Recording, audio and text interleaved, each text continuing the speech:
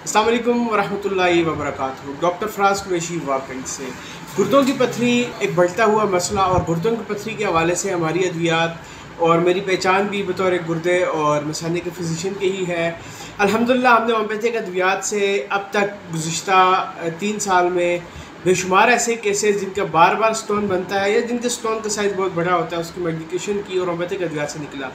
अगर आप दर्द गुर्दा में मुबतला है। बार बार आपको पेन किलर्स लग रहे हैं और इस तरह की मेडिकेशन हो रही है, लेकिन आपका दर्द ख़त्म नहीं हो रहा और आपका स्टोन नहीं आ रहा। भाई तो आप उसके लिए हमारे क्लिनिक दर्द की शिद्दत की हालत में क्लिनिक विज़िट करें, जहाँ पे हम होम्योपैथिक तरीका इलाज से आपके दर्द को कंट्रोल करेंगे, उसके बाद हम आपको स्टोन पर मेडिकेशन करेंगे। गुर्दों की पथरी हमारे हर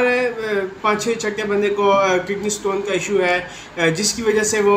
बार बार या तो वो अगर ऑपरेट करवाते हैं तो बार बार वो रिवर्स हो जाता है तो वो ऐसी सूरत में अगर आपको स्टोन है और यदि आठ से दस एम एम तक स्टोन हम जनरली अद्वियात से बहुत जल्द निकल जाता है कि उससे बड़े स्टोन होते हैं, उसको देख कर उस हिसाब से मेडिकेशन की जाती है।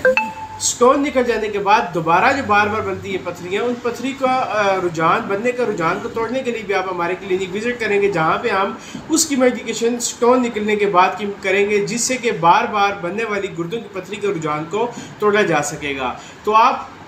वाकई के गिरदोनवा में हैं तो हमारे क्लिनिक हमें विज़िट करें या आप मुल्क भर से कहीं से भी हम ऑनलाइन कंसल्टेशन के ज़रिए हमसे रब्ता करें, मुझे व्हाट्सअप करें, अपनी तमाम तरह लम्हात दें, अपने से रिपोर्ट्स दें, अपनी हिस्ट्री दें और उसके बाद हम आपको, आपके घर पे आपको वैक्सीन भेजेंगे, जहाँ पे होम्योपैथिक अद्वियात से आप मेरे साथ रबते में रहेंगे, जहाँ मुझे ज़रूरत पड़ेगी, हम आपके साथ साथ मेडिकेशन करते रहेंगे और इन ताला गुर्द मसानी की पथरी आपकी होम्योपैथिक अद्वियात से निकल जाएगी।